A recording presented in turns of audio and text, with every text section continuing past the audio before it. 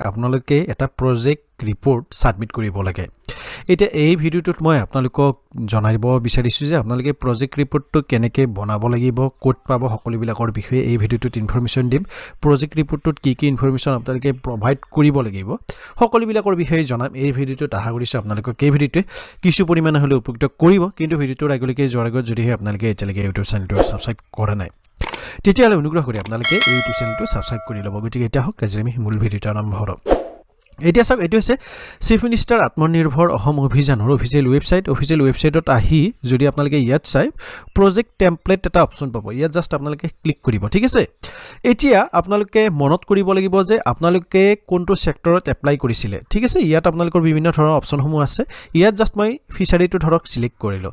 Select কৰাৰ পিছত ইয়াত আপোনালোকৰ নেক্সট অপশ্যনটোৱে আপোনালোকে ইয়াত চিলেক্ট কৰিব লাগিব যে বায়'ফ্লক হয়নে ট্ৰেডিশ্যনেল ফিচাৰী হয়নে অৰ্ণাম মই কি কৰিব লাগিব? টেম্পলেট যিটো আছে ভিউ বা ডাউনলোড অপশ্যন এই ভিউ বা ডাউনলোড অপশ্যনত ক্লিক কৰিব লাগিব। ক্লিক কৰাৰ পিছত এইখন আপোনালোকৰ কি হ'ব? ডাউনলোড হ'ব। এতিয়া এইটো চাওক এইটো হৈছে project profile for financial assistant under chief minister Atmanirbhar Asom অভিযানৰ যি প্ৰজেক্ট ৰিপৰ্ট আছে প্ৰজেক্ট ৰিপৰ্ট এইটো হয়। আপোনালোকৰ ইয়াত বাৰটা পৃষ্ঠাৰ প্ৰজেক্ট ৰিপৰ্ট এটা দিয়া হৈছে। চাওক এইটো আপোনালোকে ডাউনলোড কৰি লৈ ডাইৰেক্ট এনেকৈ আপলোড কৰিব নোৱাৰে। এই যি প্ৰজেক্ট ৰিপৰ্ট আছে প্ৰজেক্ট ৰিপৰ্টটো আপোনালোকে এইটো আৰ্হি হিচাপে লৈ আপোনালোকে নিজেও এটা বনাব পাৰে। নহ'লে বিভিন্ন ধৰণৰ এন জি অ' থাকে বা বিভিন্ন ধৰণৰ আমাৰ কিছু জনা শুনা ব্যক্তি থাকে যিয়ে প্ৰজেক্ট ৰিপৰ্টসমূহ বনাই কিনে আপোনালোকক দিব পাৰে। আপোনালোকক তাৰ বাবে পইচা এটা লয় পাঁচশৰ পৰা ধৰক হাজাৰো ল'ব পাৰে। গতিকে সেইটো আপোনালোকে নিজে এবাৰ চাই ল'ব। যি কি নহওক এই যি ফৰ্মেট আছে কিন্তু এই ফৰ্মেটটো আপোনালোকৰ মানি চলিব লাগিব বা এই যি ফৰ্মেট আছে এই ফৰ্মেটটোৱে আপোনালোকৰ যি আত্মনিৰ্ভৰ অসম অভিযানত এপ্লাই কৰিব এই ফৰ্মেটটোতে দিব লাগিব। ঠিক আছে? চাওক প্ৰথমতে আপোনালোকৰ কি দিব লাগিব?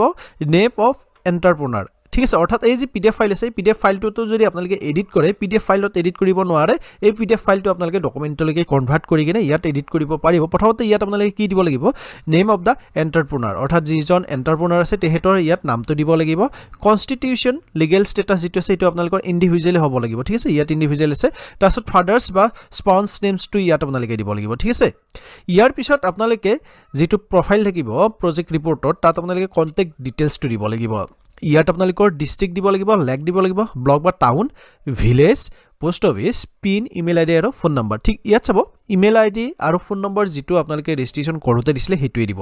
তাৰপাছত লোকেশ্যন অফ দ্য ইউনিট অৰ্থাৎ আপোনালোকৰ যিটো বিজনেছ আছে বিজনেছটো ক'ত আছে গতিকে তাৰ যিটো এড্ৰেছ আছে এড্ৰেছটো আপোনালোকে খুব ধুনীয়াকৈ ইয়াত লিখি দিব।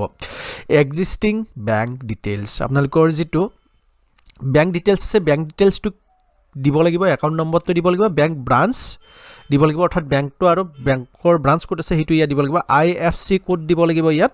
তাৰপাছত প্ৰপ'জ এক্টিভিটি প্ৰপ'জ এক্টিভিটিটো ইয়াত বাই ডিফল্ট ইয়াত দিয়াই আছে ফিজ ফিড মিল ঠিক আছে?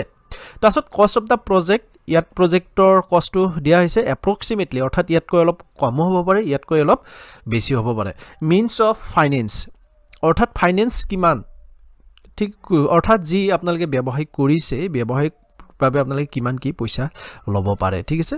গতিকে এইটো ইয়াত প্ৰথমতে দিছে গভ ছাবচিডি ওৱান লাক্স দিব আপোনালোকক আৰু bank loan three lakhs fifty thousand ইয়াত দিয়া হৈছে। ইয়াত চাওক second tranche of gov assistance of one lakhs after one year and third party verification gov may consider further assistance to successful unit অৰ্থাৎ প্ৰথমতে এক লাখ টকা আপোনালোকক গভ চৰকাৰৰ ফালৰ পৰা দিয়া হ'ব। ইয়াৰ পিছত এক বছৰৰ পিছত আপোনালোকৰ ভেৰিফাই কৰা হ'ব। তাৰপিছত আপোনালোকক দিবও পাৰে নিদিবও পাৰে।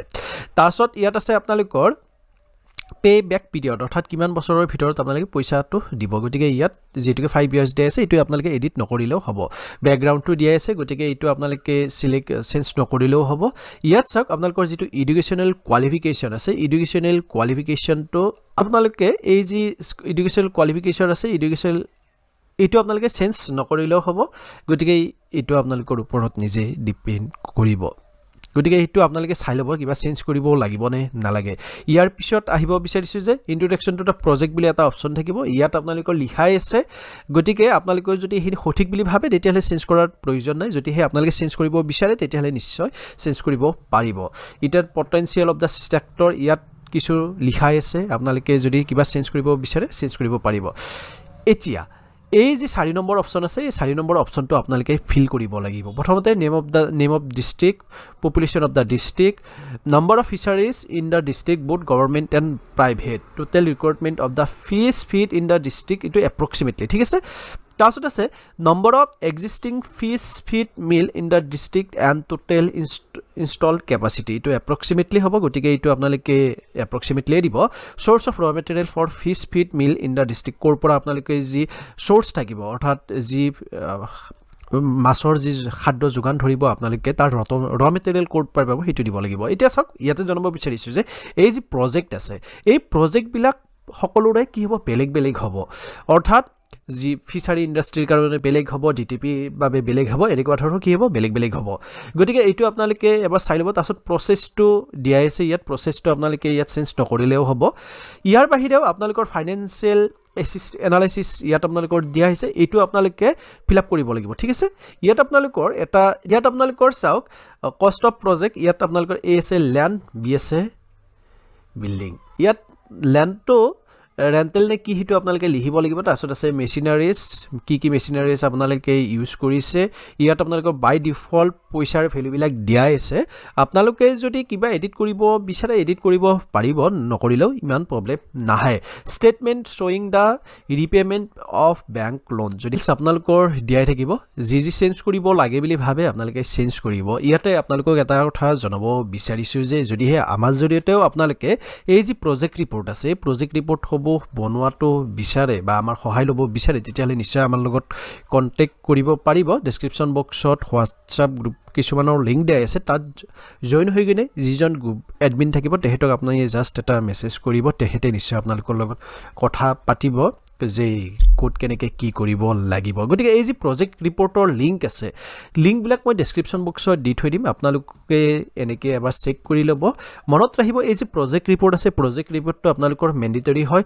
লগতে আপোনালোকৰ যিটো ৰেজিষ্ট্ৰি নাম আছে নামটো উদ্যমত ৰেজিষ্ট্ৰেশ্যন থাকিব লাগিব।